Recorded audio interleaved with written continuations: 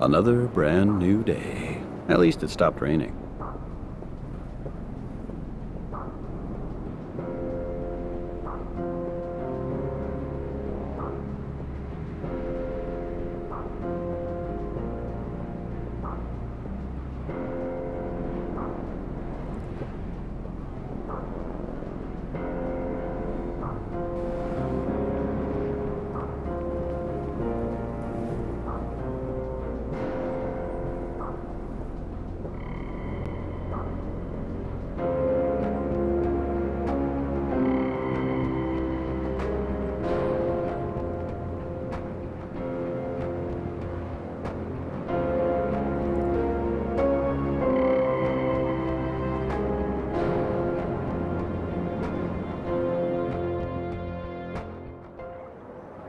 During the day, the park's quite safe. Sometimes some freaks are hanging out here.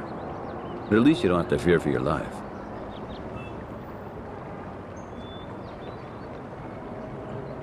In the heavens, in the stars above you, there are huge, violent machines orbiting. They will blast the thirst from your heads until there is nothing left but happiness. The happiness of one in the last second of death after a long, painful torture. But you won't die. You must live on.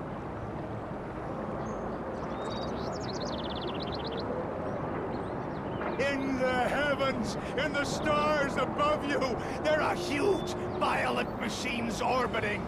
They will blast the thirst from your heads until there is nothing left but happiness. The happiness of what in the last second of death after a long, painful torture. But you won't die. You must live on.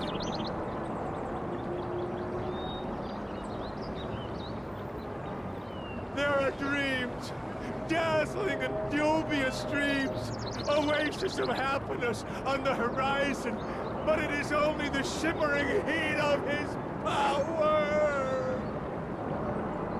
Nobody is close to you because he is close to you, and he keeps everything away from you. Your world is a gleaming bubble growing smaller and smaller as he uses up your air and will burst, or you will suffocate in it yourself.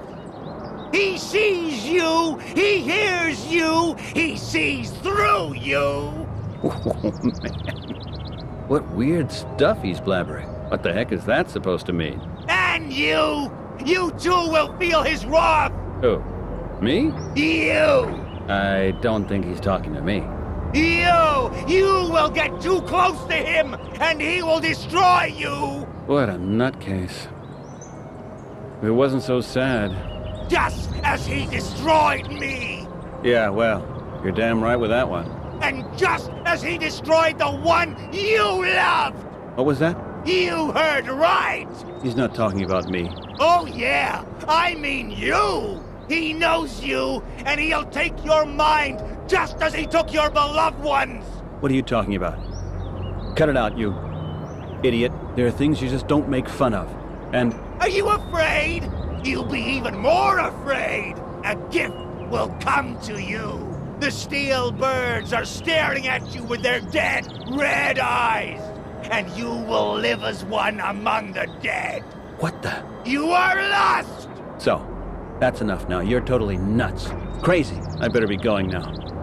In the heavens, in the stars above you, there are huge, violet machines orbiting. They will blast the thirst from your heads until there is nothing left but happiness. The happiness of what in the last second of death after a long, painful torture. But you won't die. You must live on.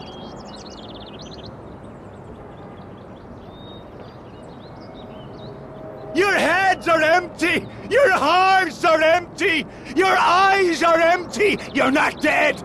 But you're not alive either! You're what he allows you to be! Moth hovering around his I think I could use this wire.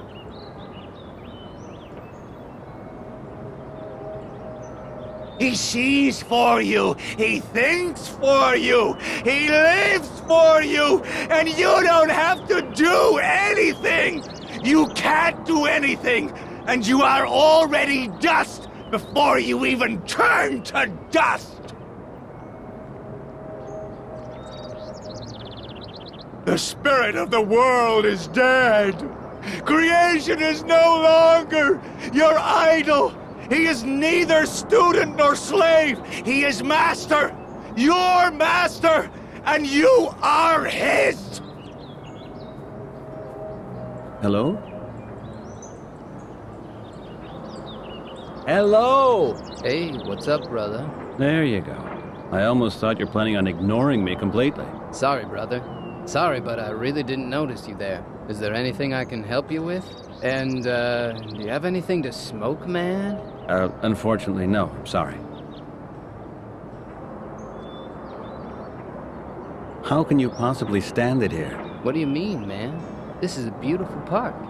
The grass smells like grass, and the weather's really so fine. What I mean is, how can you bear to live next to this freak over there? What, man? Sorry, but you have to speak up some. The Guru! Don't tell me his crazy speeches don't get on your nerves as well. Ah, him. Nah, he doesn't bother me one bit, brother. I don't hear him at all. But you're not playing that loud.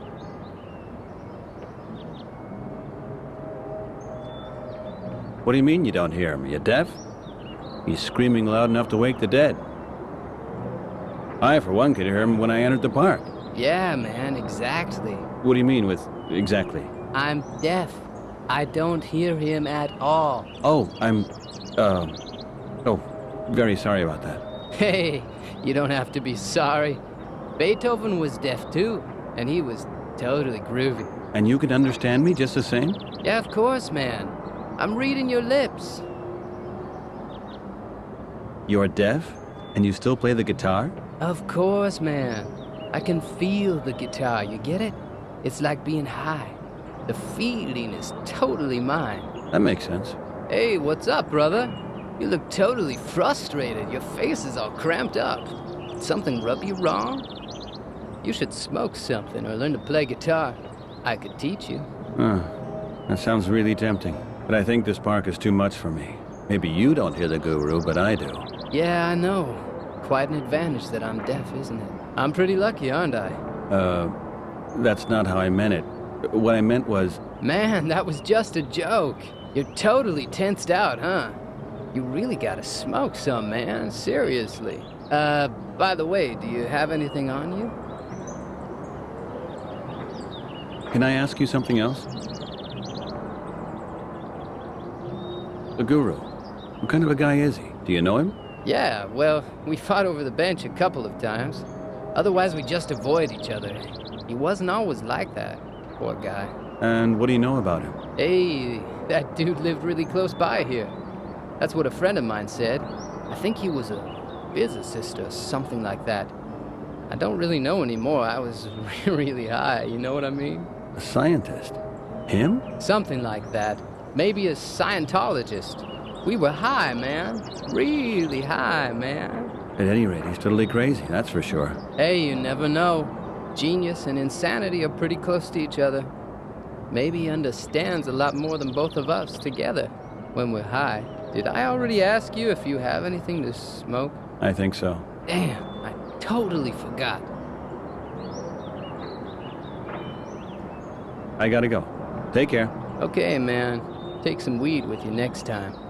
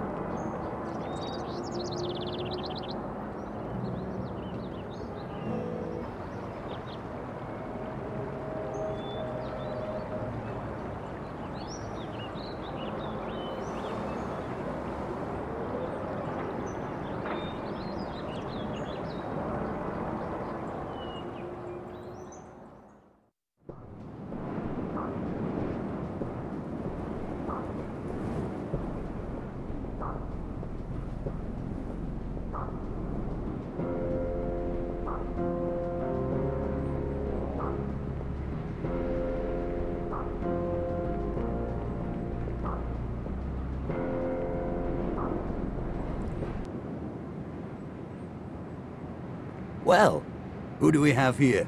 Hi, Peter. Beautiful day, isn't it? Everything okay with you? Yeah, well, I'm doing all right. Come on, Peter. You can't ruin every day for me. What the hell is going on with you? It's really nothing. I'm just a little bit overworked. Overworked? You look more like you're lovesick. Or an ulcer.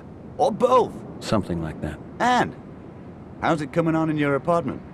Do You like it? Have you finished furnishing it? Yeah, of course. It's totally cozy. You know what, Peter? Starting today, I'm not gonna sell you any more whiskey. Your answers are getting shorter all the time. I think your speech center is suffering. You're such a nice guy, Bob. It's good to have you around. Well, that sounds better. You're still not getting anything for free. So, what can I do for you?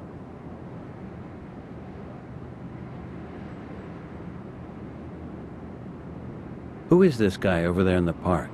This guru? Oh, him. He came over to the store about 8 o'clock and wanted to dump his magazine off on me. He seems to have set himself up in the park. His magazine? He's making a magazine? Unbelievable. What's it about? Crazy stuff, of course. He probably writes it himself. Brainwashing, attacks from UFOs. Well, you know, the whole paranoid trip. Poor bastard. One day they'll come and pick him up. Maybe it'd be better for him. But he can definitely scare the heck out of you. But he's probably just a poor devil who's down on his luck. We all have bad luck sometime. My mother-in-law, for example, is a nightmare. That's what I call bad luck. And? Do I take that as an excuse to sell crazy magazines to people or babble nonsense to myself in the park? I don't know. The stuff he's babbling sounds to me somewhat disquieting. How long did you stay open last night? Uh, till 10, as always. Why? Hmm, 10 o'clock. That sounds about right. Did you see anything unusual round about 10? Well, the cops were there. Riot squad in full battle gear. I suppose a drug raid. The usual. They came to my house. The raid was actually on my floor. Uh-huh. You didn't do anything bad, did you, Peter? Admit it, you don't work for Greenberg and Winter all the time. You deal liquid mine from your apartment. No. Not liquid mine? What do you deal then? Hyper shots? Devil sticks? Oh, come on, you can tell me. Really, Bob, it wasn't that funny yesterday. Not at all. The cops stormed the neighbor's apartment and arrested the father, a journalist. His name is Graham Oswald. Do you know him? Oh, yeah. The gaunt man with the gray hair. Well, my God. Things like that happen. Maybe he didn't pay his taxes, or parked wrong. Or perhaps he revealed some national secrets.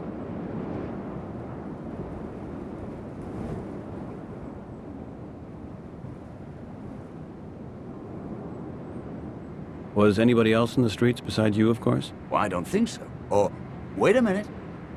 These two young guys, yeah, they were there. Two young guys? What did they do? They plastered their posters over the telescreen again. Alien Attack Club. Onto that public telescreen that's down the street? Exactly, Peter.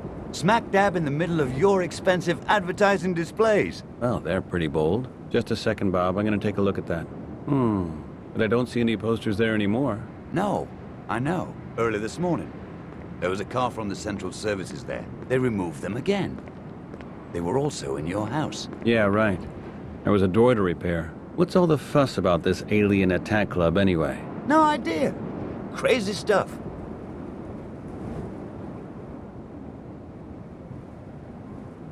In what direction did the cops drive off? Downtown, as always. Over there down the street. Over the Brooklyn Bridge.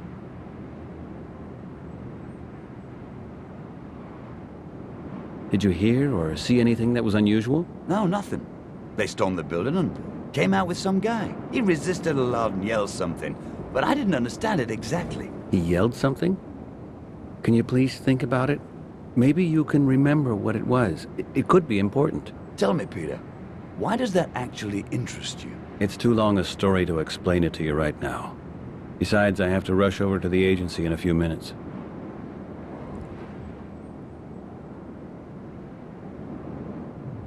I gotta run, Bob. See you later. Okay.